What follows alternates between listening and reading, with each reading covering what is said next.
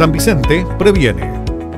Les habla Jaime González, alcalde de San Vicente, para reforzar lo planteado por la doctora Francisca Ávila y la enfermera Stephanie Tobar, de, en primer lugar, eh, alegrarnos de que eh, las dos familias afectadas por coronavirus que estaban cumpliendo cuarentena domiciliaria han cumplido eh, con lo que se les ha pedido. Yo quiero agradecerle a esta familia que, no hayan roto, ¿no es cierto?, esta indicación que hace el Ministerio de Salud y que estén, eh, ¿no es cierto?, hoy día libres de, contagiar por el coronavirus, lo cual es, algo que tenemos que alegrarnos.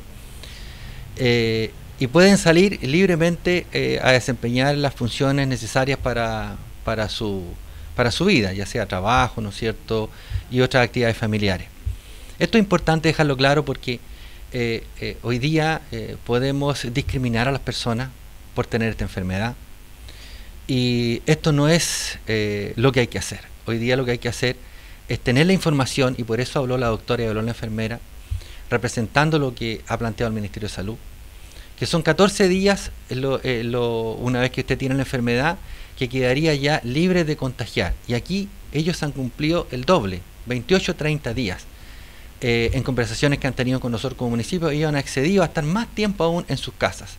Por lo tanto, eh, tenemos la certeza eh, médica de que ellos no tienen el, virus y no están contagiando. Digo esto porque tenemos que aprender todos a enfrentar esta situación, teniendo la información correcta para no hablando en términos más simples, no perseguirnos donde no tenemos que tener esa actitud esta gente puede salir, salir a hacer una vida normal y podemos interactuar con ellos eh, normalmente. Por otro lado, hemos visto las noticias del país que cada vez tenemos más aumento de casos con coronavirus y tenemos eh, más eh, pérdidas fatales. Se dijo muchas veces que el pic venía a fines de abril y principios de mayo y se está cumpliendo, se están aumentando los casos. Específicamente en San Vicente, oficialmente hay un caso más y no hay ninguna duda que van a haber dos, tres, cuatro en los próximos días, lo cual, ¿qué nos indica? Que debemos mantener las medidas de autocuidado. Hoy día el poder está en cada uno de ustedes, en hacerse responsable de las medidas necesarias de autocuidado. Por lo tanto, yo como alcalde quiero decir, nosotros como autoridades les transmitimos la información, eh, pero ustedes son los que son dueños de sus conductas. Yo les pido que por su familia, eh, por la comunidad, mantengan las medidas de autocuidado que ya se mencionaron para que este virus pueda afectar a la menos gente posible. Así que, y especialmente hoy día eh, que vamos a entrar un fin de semana largo, yo, así como en Semana Santa, les pedí que se mantuvieran lo más posible en sus casas y que por más ganas que tengan de compartir, ¿no es cierto?